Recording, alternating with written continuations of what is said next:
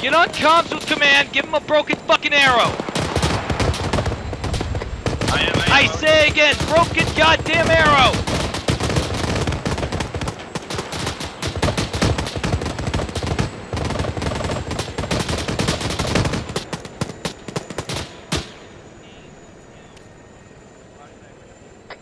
All right, Sergeant.